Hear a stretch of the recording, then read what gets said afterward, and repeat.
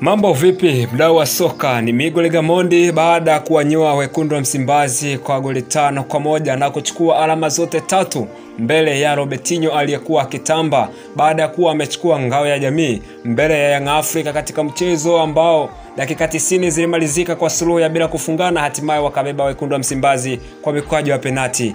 Kocha Miguel Gamondi kupitia insta yake amesema Kocha mkuu wa Yanga Migori Gamondi kupitia akaunti yake ya Instagram baada ya mechi ya Kariakoo Derby ametaja mambo manne yaliyoibeba timu hiyo na yaliyowapa ushindi Young Africa dhidi ya Simba hapo jana. Gamondi ameandika, hii ni tafsiri isiyo rasmi. Siri ni kupambana, kupambana na kupambana. Pamoja na kipaji, nidhamu na furaha ya kuwa kwenye timu hii ndiyo siri ambayo imetufanya tushinde. Kwa Kiingereza aliandika secret no it's work work and work plus talent discipline and happiness to be in a group like this one. Yanga jana imeibuka na ushindi wa mabao matano kwa moja dhidi ya Simba katika uwanja wa Mkapa.